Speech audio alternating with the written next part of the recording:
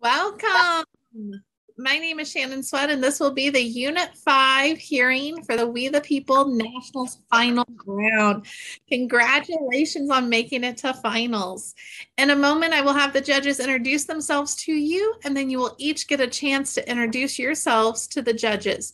Students, you will then deliver a four minute prepared speech and 10 minutes of follow up questions. My microphone will be muted, but I will be holding up your one minute and your time signals for you. I suggest that that if you're viewing this, you go ahead and use gallery view rather than speaker view. And at the conclusion of the hearing, our judges will give some feedback. Judges, when you're ready. Lovely, thank you. Good afternoon, Wisconsin. My name is Gus Chin. I'm a municipal judge for the city of Holladay in Utah, and I'm looking forward to our conversation and discussion this afternoon. Um, and uh, good afternoon, the of Maryland School of Law.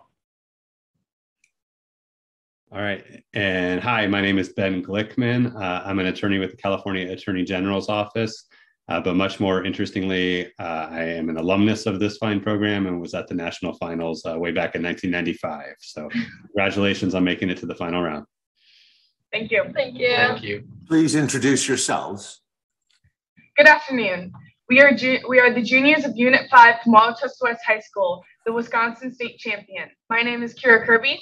I'm Thomas Hipke. I'm Maya Lee. I'm Indigo Key, and we are here on behalf of our teaching assistants, mentors, and teacher, Mr. Chad Mateski.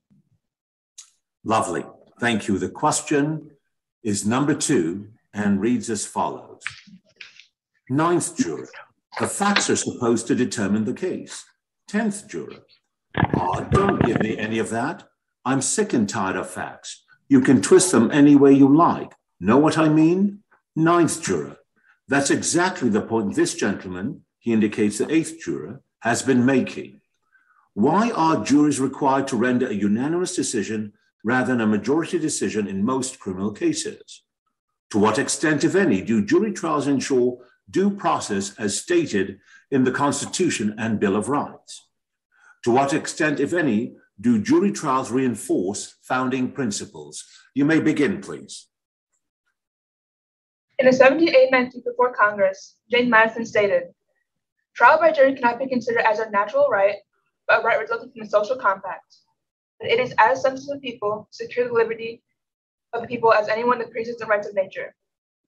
The importance of trial by jury has been almost universally recognized since the founding of America.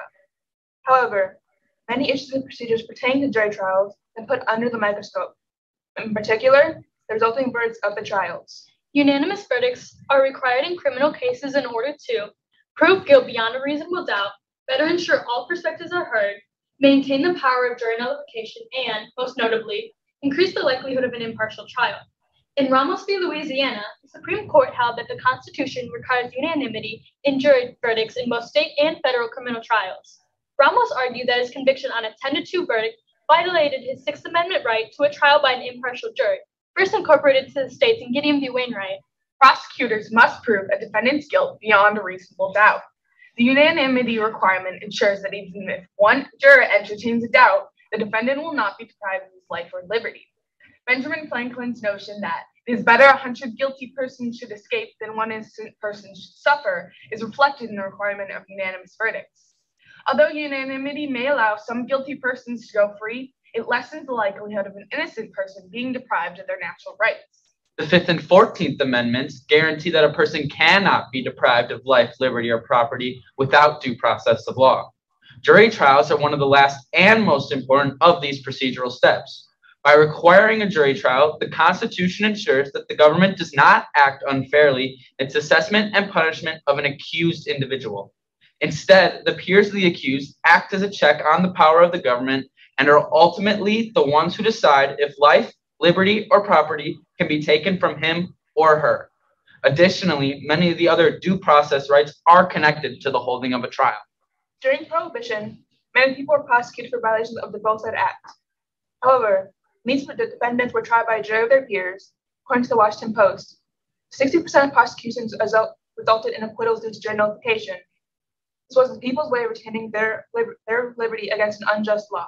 In pre revolutionary America, the colonists used jury trial rights to protect themselves against oppressive British rule as seen in Rex v. Zenger. Despite the prosecution's proof that Zenger had violated the law, a colonial jury concluded that Zenger was not guilty, thus preserving his liberties. This dependency allowed citizens to limit the government's power, maintaining popular sovereignty as a bulwark against an arbitrary and capricious government. The very act of jury service reinforces many ideals of democracy. In Federalist 51, Madison referred to the people as the fountain of authority. As it pertains to jury trials, the people exercise this authority when they decide whether a person's liberties can be taken away. Madison's views align with the founding principle of consent of the governed. In order for the government to have any power over its citizens, they must first consent to the government's rule. As citizens enter into the social contract, they agree to give up liberties in return for order. For the government to deprive a person of life, liberty, or property, the people must have the final say through a trial by jury. The importance of trial by jury for democratic republic is irrefutable. The power of the citizens over the government helps maintain vital checks and balances that guard against tyranny. As John Adams said in 1774, representative government and trial by jury are the heart and lungs of liberty. Without them, we have no other fortification against being ridden like horses. Thank you for our statement. We're ready for follow-up. Thank you. Your testimonial suggests that you're a strong proponent or supporter of jury nullification. If so, if a jury ignores the law as given by the judge, should the judge not have the authority to overrule, overturn that jury's verdict for not following the law as given? Why or why not? No, the judge should not be given this as jury nullification often comes from often comes from the the jury thinking the law is unfair. And as MLK said, an unjust law deserve, is is no law at all. And um, if we if the jury is acting based on this, then there is no reason why the judge should overturn such decision. Many times the judge will not have a say in the laws that are passed. And so the people uh, through jury nullification, as in prohibition, are able to uh, act out against laws that they find um, unjust against them. Although I agree with my colleagues, I believe that if the judge believes that the jury did not understand the law properly, then they should have the, the authority to overrule. Let me uh, push back or just make sure I understand. Um, is it, I guess, would you agree that you and I may disagree about whether a law is just or not? Yes, I do believe people with different perspectives from different places in life can disagree about what laws are just and what laws are unjust. However, okay. that's so. Let me let me. So, if that's so, I mean, your your position assumes that only that the only laws that juries will seek to nullify are unjust laws. But I'm assuming that you'd only be in favor of it if you agree that those laws are unjust, right? And if, for example, someone was a racist and didn't think that people of different colors should have the same rights and therefore attempted to nullify equal protection laws, you wouldn't think that was really very great, would you? That is one of the reasons that the court requires unanimous verdicts, is because the one pe- person swaying being able to sway the whole jury in 11 to 1 verdicts mean that that person could sway the whole jury or could sway the way that it goes. Unanimous verdicts requires everyone to agree, and that if everyone doesn't agree, a trial can be declared a mistrial and then be retried by a separate portion of jurors. In Ramos v. Louisiana, Justice Sotomayor argued that less than unanimous decisions were based on racism, as as my colleague was saying, that the one if there was an 11 to one um, verdicts, as she was saying, that if one of if it was based on race and the one defendant was or the one um, other vote was a black or other minority, that their vote wouldn't count and on a less than unanimous ruling. I wanted to shift gears a little bit. I mean, one of the challenges with jury nullification is we don't know why the juries make their decisions because we don't get to go in that jury room. We don't. We're not.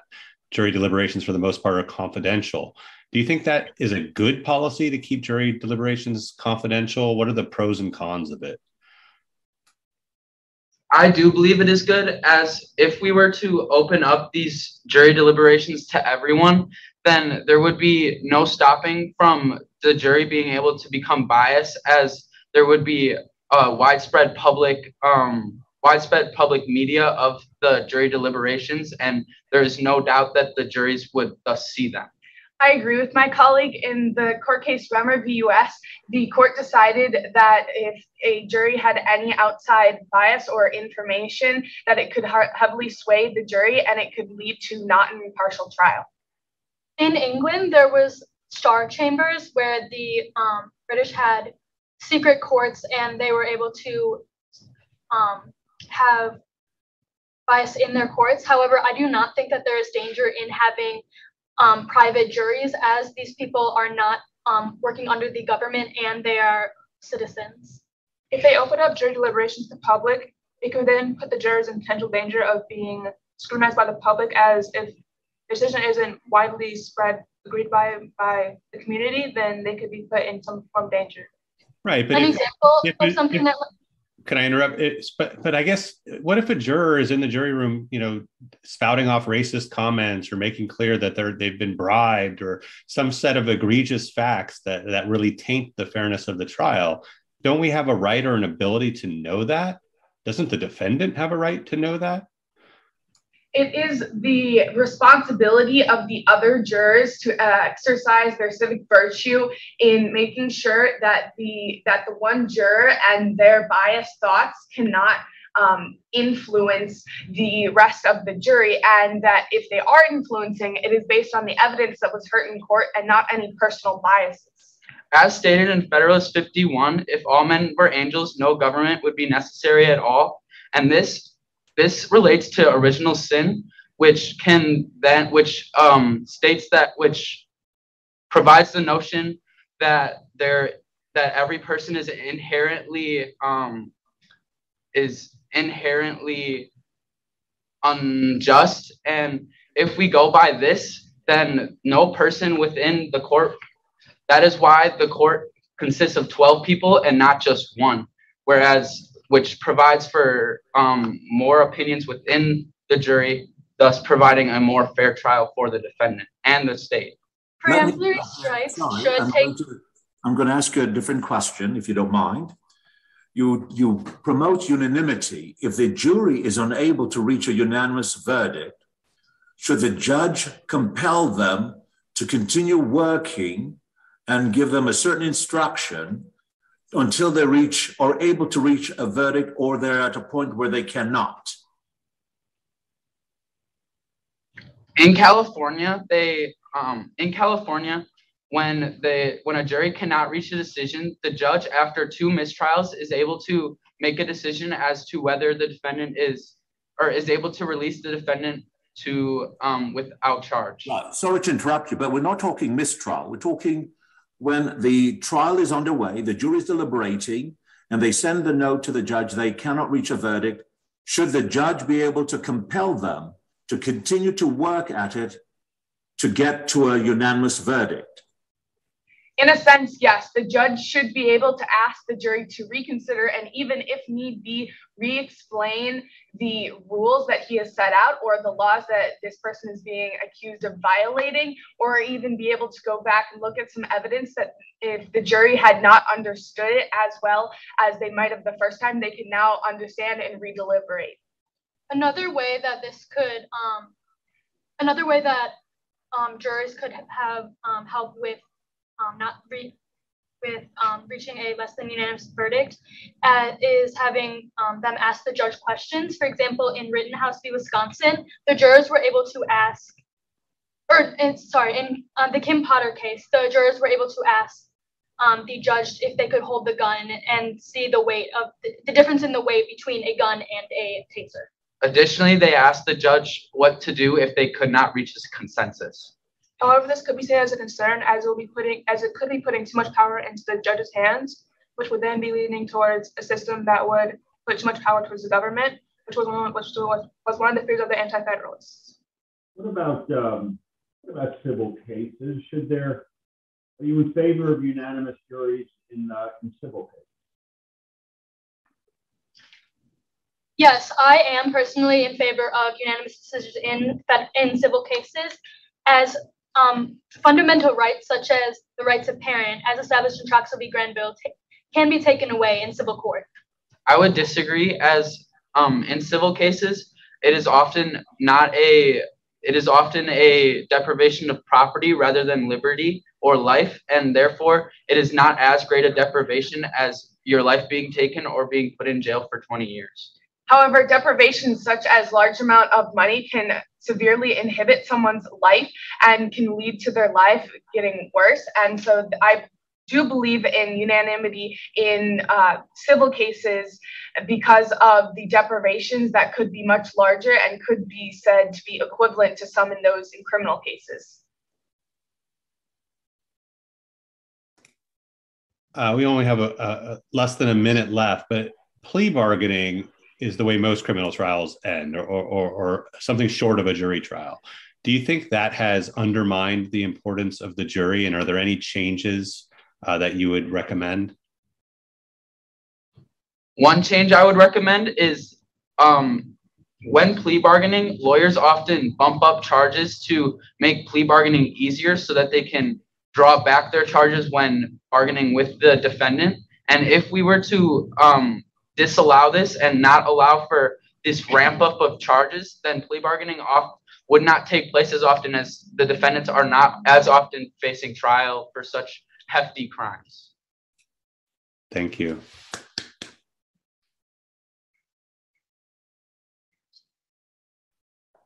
Well done, Wisconsin. I appreciate your tolerance and patience as we interrupted you trying to get through questions. We want to make sure you had a full feel of where we are trying to find out your the level of preparation you held yourself well in terms of your testimonial. Your responses were passionate, slight. Uh, I'm not sure that you got Judge Levy's question regarding the issue with nullification. I'll let him address that further because I think you went slightly afield, but nonetheless, you addressed the issue of nullification, the jury deliberation, and the compelling of a jury to reach a unanimous verdict is commonplace in some states, not in all, but certainly you were responsive to that. Your preparation is indicative of your commitment to the issue of civic responsibility, and your responses are indicative also of your ability to bring about change because you have some great ideas. So I hope you put those ideas into practice and bring about the changes you desire for the future of our country. Thank you. So, um, yeah, thank you, um, thank you, Judge. So, um, so I enjoyed the, the give and take. Um, this was a nice way to end our day, and um, I don't know if you think that our questions to you were a nice way for you to end your day, but, um, but we certainly enjoyed it very much. And um, we, um, you, you present very well. You're earnest. You, um, you, you know, you sort of stick to your guns. Um, I don't know that any of these questions necessarily didn't really seem to take you by surprise, um, which is a is a testament to your own preparation, to your teacher. Um, you're, well drilled. You're working. Let me state the obvious. You've been working incredibly hard um, to prepare for this, and it, it shows. Um, so it, that you know that can be its own reward. Um, on look on nullification, here's the problem. Um, nullification, it's always possible to point to you know this case or that case. Um, a lot of times we hear you know nullification of the Fugitive Slave Act or um, uh, uh, prohibition. But the fact is that given that um, given the fact that, for example, r- racism or, or homophobia or misogyny is still um, unfortunately endemic within many people, the risk is that most of the time jury nullification um, will, will not be in favor of the home team, you know, if you will. Most of the time jury nullification um, will be to just ignore when the judge says, you have to decide this case, you know, just based on the facts and without taking anything else into account. We don't want jurors saying, well, I don't care what the judge told me. Um, th- these people, they're, they're all criminals. So I don't care what the facts are. I'm just going to decide that based on that. Obviously, none of us would be in favor of that.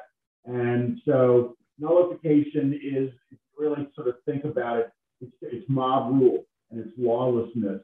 And while occasionally we say, oh gosh, I'm glad they ignored that law, most of the time we, we want jurors to follow the law because, you know, for reasons that I, I need not further belabor.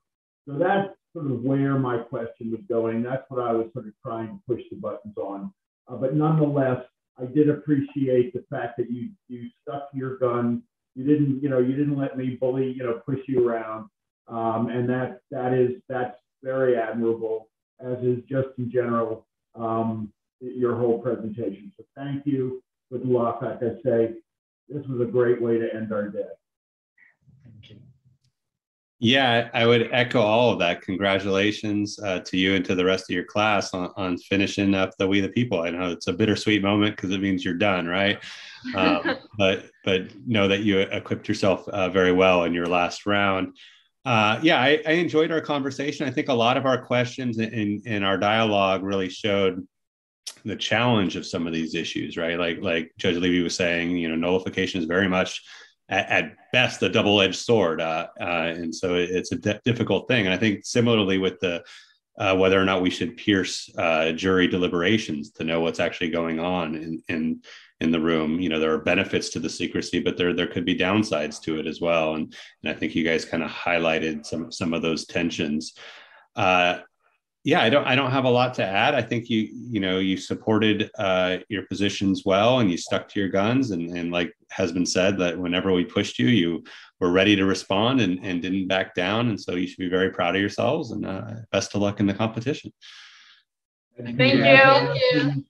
Congratulations to your teacher and to your parents. Boy, they must be so proud of you guys, and they have every reason to be. So if they make your parents proud, then that's very good thing. Thank you. Thank you. Thank you.